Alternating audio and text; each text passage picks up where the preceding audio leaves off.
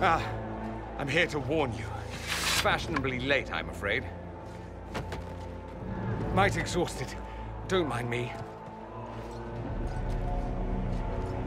There you are. I came to tell you what happened with the mages at Redcliffe. You're not going to like it. They are under the command of the Venatori, in service to something called the Elder One. I command thee. Am the lord of all that is